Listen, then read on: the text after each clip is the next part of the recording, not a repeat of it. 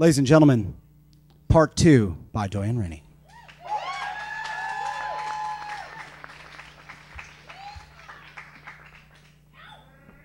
Seems the ends of the show these days are the sort of ongoing experimental theater. We try and do some little something different every time. Um, so uh, here's our latest installment.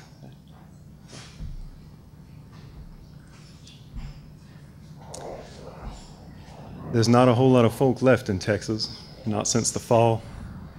Those of us still around have a hard time of things. There surely ain't the great knowing of contraptions like there was in the old world. The sun's hot, a lot hotter than it used to be. On account of the rays, men don't go outside and show their skin of the sun. Honest folk do their business in the evening. Though it was high noon when the Mexican walked into my bar.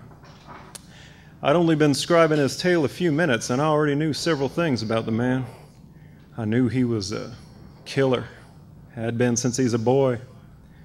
I knew that on a low and lonely Tijuana steel bowl platform, a Topeka engineer named a Dreamcatcher had hired the Mexican to kill the King of Texas.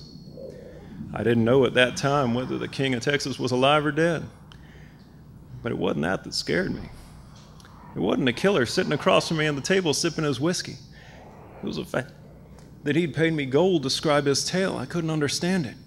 And it was that not knowing that scared me worse than them cold rattlesnake eyes. He kept talking. Wasn't nothing I could do but keep writing.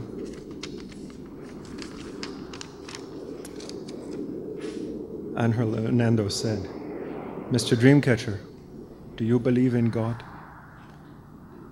He scratched under his sweat drenched coat. I did not come south for riddles, Mr. Hernando. It's the Texas job that's important. In the hot country, in Texas and in Mexico, one must believe in God. The man in black shrugged. I believe in mechanology, etherics, steam. I believe that progress comes from the work of men, hard-working, self-made, profit-seeking men. Such men broke the old world. They say a day of fire consumed the old world, turned everything to ash. Under his scarf, Dreamcatcher sucked on his teeth. At Topeka, men are making a new Eden. That's what I say. Without seeing Dreamcatcher's face, I could tell his age. Too young to understand God and men. His dark goggles turned toward me. Will you deliver me a soul? I smirked. Senor, my only skill is trading souls for gold. I suppose that is why they call me El Diablo. As a young man, I had returned to Saguaro with a chest of gold for my mother. A box of souls, you might say. The Mexican sun had grown hotter in my absence. The towns were smaller, poorer, and the bones more plentiful than ever. I could see then what I had not as a boy that Saguaro was a place long dead, a carcass with worms in its marrow. I approached Mother's house at the outskirts. It was much smaller than I remembered. Mother met me at the door but did not smile. There wasn't much of her, all dry and leathery. She said, My angel has returned. Did you bring food? I shook my head. What's that on your back? She was looking at my rifle, a mess of tanks and tubes and gauges, welded from old world steel by a clever Tejas watchmaker very shortly before he met God. I showed her the rifle, showed her how the gauges hiss and dance when they open the valves. I told her that at 3000 psi it will shoot through a horse front to back. Her gray and lifeless eyes considered me. You have a killing machine. I shrugged. I said it was just air and tubes that a man does what it, with it what he must. I told her about the gold that I had brought. She moved back into the shadows of our little home, and I followed. She leaned against a wall and said, I cannot eat your gold. I cannot feed it to the algae barrels in the cellar. No one comes to Saguaro anymore. Why did you come back? I came to help you, I said. I was glad that you left, my angel. Saguaro dried up after you left. Most of the people died. I did things to survive, things I never wanted to do. You know how it is. I did know how it was. She said, When you were a boy, you promised to take care of me. I remembered. I keep my promises, but I did not want to do what her sunken gray eyes asked. I had come with a rifle, but no food, and we both understood that in Mexico you do what you must. Don't cry, she said. She closed her eyes, which was kind of her. I left two ounces of lead in my mother's house, and I never went back to Saguaro. I said to Dreamcatcher, Do you know who guards a corpse? A corpse? The worms. I heard the steamboat's huffing breaths in the distance, the iron beneath my boots pulsed with its coming. Mexico is a sacred place, Mr. Dreamcatcher, a territorio blanco. When the old world died in fire, God did not die. That was the day he came back. He made a new Eden right here in Mexico, a land clean except for the few fallen and penitent souls he left to guard the place. Mr. Dreamcatcher sighed and fished in his pockets.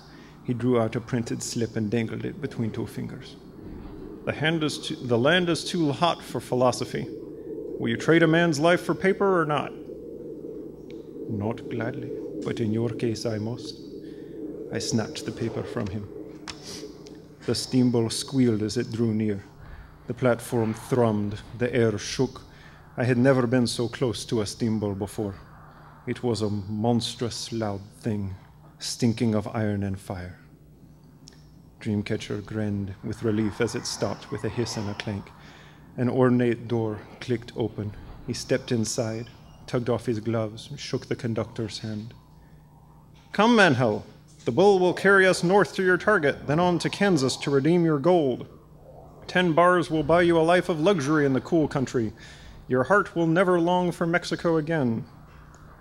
I stuffed his banknote in my poncho and stepped back down the stairs, away from the bull.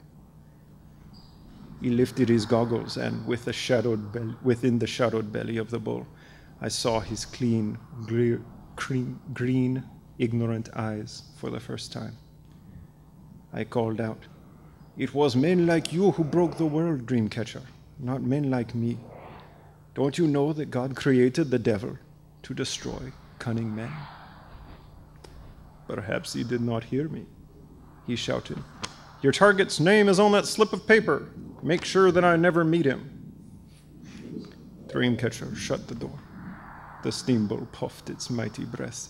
It surged and panted, and its iron wheels spun, then caught, and the monster lurched into motion. Before it had moved ten feet, I pointed my rifle at the seams of its iron boiler and triggered the release. I do not actually remember the explosion. When my vision cleared, I was on the ground with a rain of iron and wooden chunks crashing in the dust all around me. I looked to the sky and saw a roiling mushroom of steam rising toward heaven, glowing gloriously in the sun.